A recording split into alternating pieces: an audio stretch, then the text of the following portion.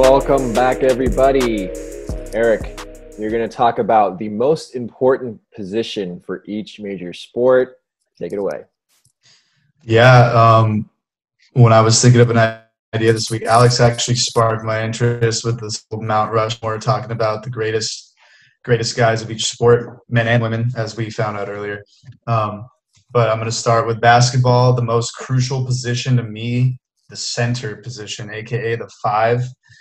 Normally, the tallest, strongest player on the team, most body mass, uh, as we've seen around the league, average about six feet ten inches or taller. This player is the rim protector and the defender, the guardian of the basket itself. Uh, their ability to protect their own zone, which is closest to the rim, in other words, is the most critical to me for high scoring efficiency and rebounds. In other words, second chances. Uh, when you have those, usually your team does better. Most teams that are dominant or successful usually have a big, important center. Look at the Lakers with Anthony Davis. Um, look at other teams with good centers. Look at the Rockets. They get rid of their center. They're terrible. They're a joke. Fuck the Rockets. Uh, probably the best one I've seen. Shaquille O'Neal, seven feet, uh, one inches tall, 325 pounds, won four NBA championships, an MVP award, a Rookie of the Year award, three Finals MVP awards. The list goes on. I think if the Lakers didn't have Shaq during those times, they may have not been as dominant. Of course, they had Kobe, but uh, you know, pulling the whole three-peat uh, was necessary with Shaq. Um, James, you talked about basketball Mount Rushmore earlier. Tell me about your position and greatest player of that position. Who's the opposite of the center? That'd be the point guard. Yeah, you're wrong. The point guard is definitely the most important player on the team by far. That's your play. That's your player coach on the court. He's going to be the primary ball handler. He's going to call plays. He's going to make sure people are where they're supposed to be. He gets. He can even call an audible like on the court.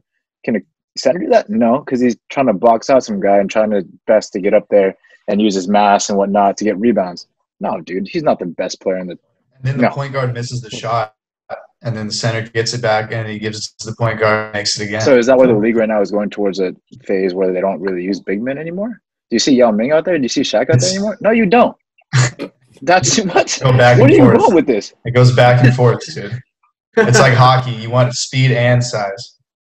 Right. Okay. Anthony right, Davis isn't really a uh, center, dude. He's a power forward. Centers don't really go out there and shoot threes. Does Dwight Howard go out there and shoot threes? Very rarely. Uh, he sucks. That's why. Okay, for sure. That's why you were talking about him earlier. Uh, Anthony Davis, not a center. You're wrong. He's a power forward. That's what he's on 2K, so that's what's right.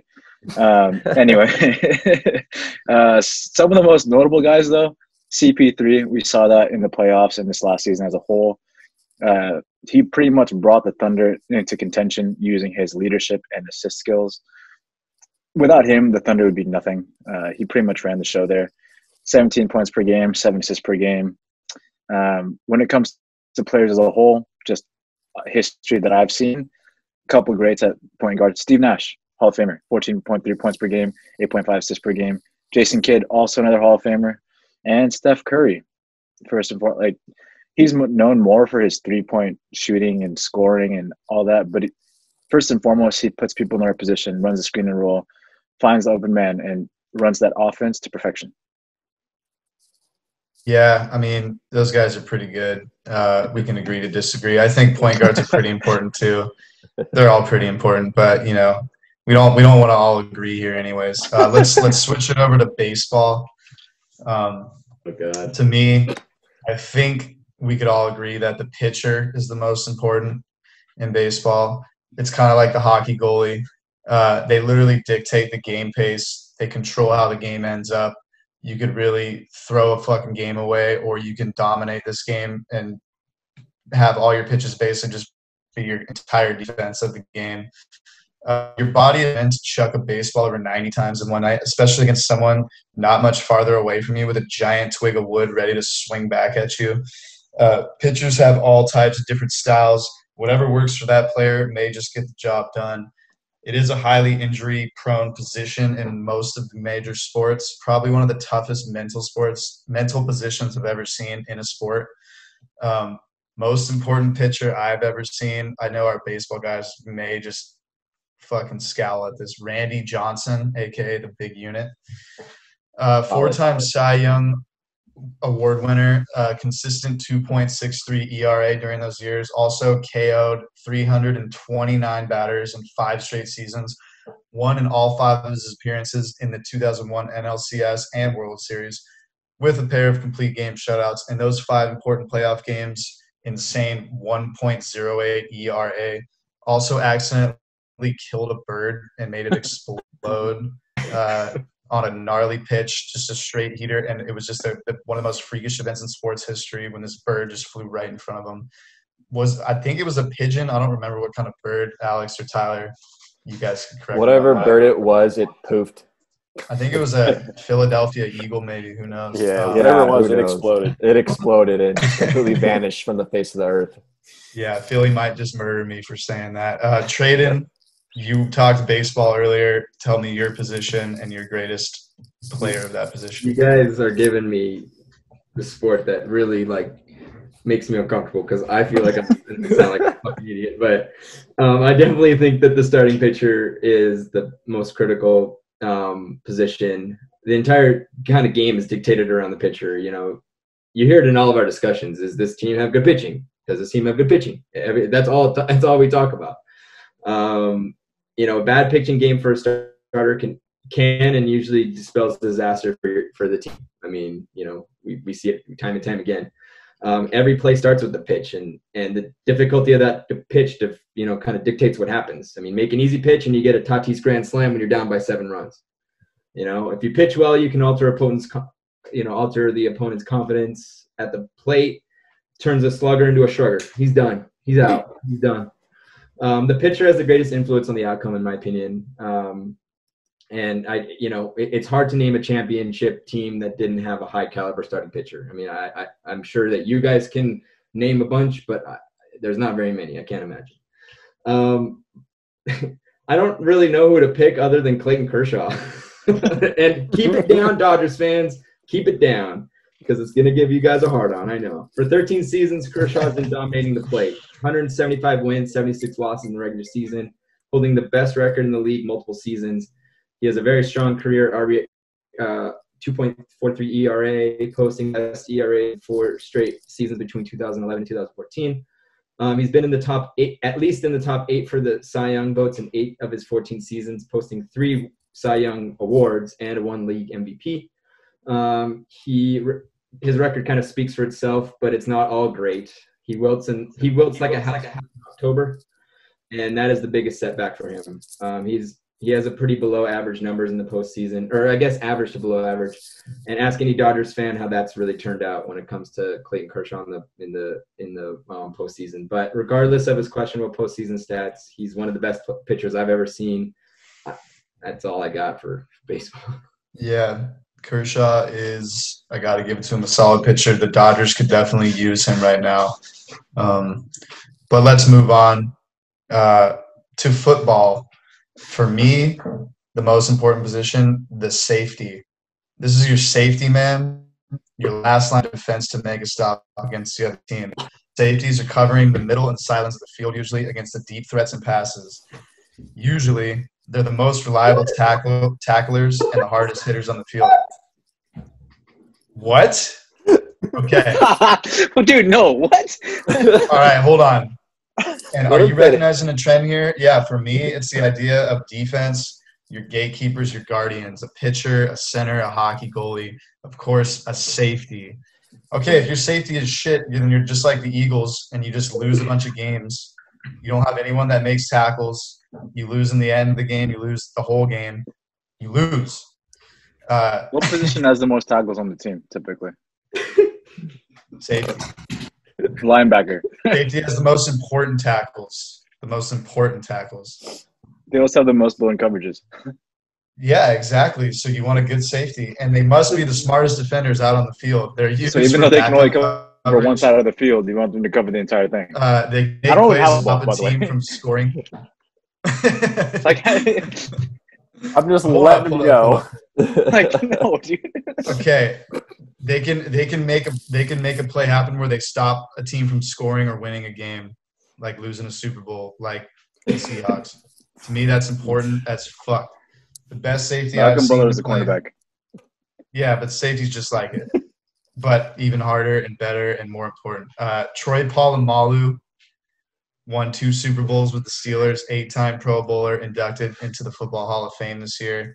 770 tackles, 32 picks, 14 fumbles forced, three defensive touchdowns. One of the true commanders of that Steelers defense for many years of their success, which I watched them win two Super Bowls. Good thing they didn't win any more than that. Alex, you're probably going to disagree with me here, but you know we can't all agree. what do Uh, you got? yeah, I did not have the safety. That was not what I was expecting you to say. Uh, I mean, really, the answer is quarterback, but I don't want to talk about the quarterback. My actual pick was the linebacker. Um, he is the quarterback of that defense, and as we all know, defense wins championships. Uh, they're really the signal caller, signal caller of that defense. They can call audibles just like the quarterback can. Um, if you have a weak linebacking corps, your defense is fucked, and then you have no chance. Um, some great ones: Bobby Wagner for the Seahawks. Um, those were legendary Seahawks defensive teams, and Luke Kuechly, uh, who just retired, uh, one of the greatest linebackers of all time uh, down with Carolina Panthers. Safety, though, wow, what a Okay, pick! at, at least at least we both said defense. Just That is one true. guy is like ahead of the other guy by like ten yards on the field when they when they set up. James, I know the football wasn't yours, but you've been just going Trump with the arms over there. Uh, what, what do you what are you thinking? I was going to go with center, uh, the offensive side on the offensive line, which is very important. But those guys make the line calls, um, whether to shift your line to the left or the right based off pass protection. They call out blitzes. They are the first. Per- they're the only person that touches the ball on every single play. Um, without a good center, you don't have a good line. Without a good line, your quarterback gets killed. You don't get offense. You lose the game. Simple as that. Ever since episode one, like we always just revert back to talking O line. So I, I remember I asked, is the O line important? I guess they are. Um, so last sport, let's get into it. We're gonna talk hockey. Traden may may say a word or two. Who knows? He'll probably agree with me. Of course, it's the goalie position is the most important, most responsible player, dictator the final score, uncharted guardian of the ice kingdom. Hockey goalies have to have the biggest varieties of skill sets, positioning, ability to fill spaces, even joint and tissue mobility in their body, quick and swift reaction times, rebound control, starting offensive clears and breakouts. The list goes on. Probably, in my eyes, the hardest position of all major sports. Extremely mental, and even you see this, some amazing goalies shit the bed come playoff time. Even if they've led their teams in the past to a successful championship, they get the yips. Somehow it doesn't work out for them. It's weird. You think, what the hell? Last year, you know, Binnington last year pulled his team all the way to game seven, winning a cup this year. Terrible. It can all be about the hot hand, which we've talked about before, and the timing of it. Uh, this is probably why goalies are weirdos too. They're just always in their head. Uh, best goalie I've seen, maybe a little biased guy, Jonathan Quick. This guy was critical for the both LA Kings two fruitful Stanley Cups. His first run, a 1.40 GAA, which he ended up winning the Conn Smythe that year. That was his first Stanley Cup appearance ever. Two years later, he was one of the ultimate ice wizards, um, guarding defense, winning three game sevens on the road for the first time in Kings franchise history for their goaltenders. Uh, I literally remember him saving series with with in, insane saves. Tyler, you talked hockey earlier. Let's hear what you got to fucking say. Talked a lot of hockey on this podcast. I love it. A little change of pace for me. I disagree with goalie being the most important position. Mine, it's a close second to the centerman for hockey. Traden. Oh, there you go. That's a that's a that's an acceptable nod. Okay. Uh, for me, the centerman is the most important. It's a high level skill position. Uh, need to be flexible in positioning. You're covering the most ice of any player. Uh, you need to be strong. You need to be fast. Exceptional vision, intelligence, and creativity with the puck. Um, also need to play high level defense. So you, it's really you need the most skill of any player that's out there on the ice overall as an athlete and as a hockey player. Um, little fun facts for you: of the 92 Hart Trophy winners, 50 of them have been centermen. and then uh, and then 19 centers have won the Conn Smythe Trophy, which is more than any other position. So looking at those stats, those are guys that I think the NHL and the overall league respects as the best players in ice most of the time.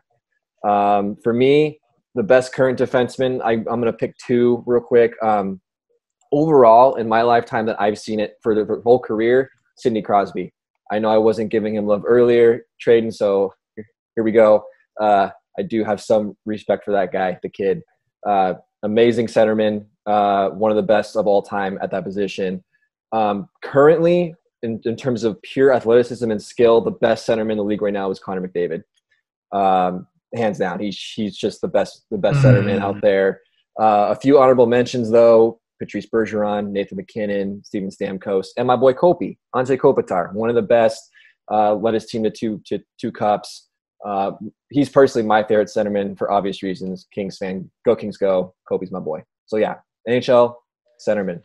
A lot of center talk tonight in both two different sports. Who would have thought? Uh, Traden, what are your thoughts? Yeah, I, I think you guys said it perfectly. You could have picked either of those two. I'll, I'll have that conversation with you with you any day. Um, I half expected you to pick left wing, Eric, because you've been kind of like picking the craziest. That's my position, dude. No, right wing.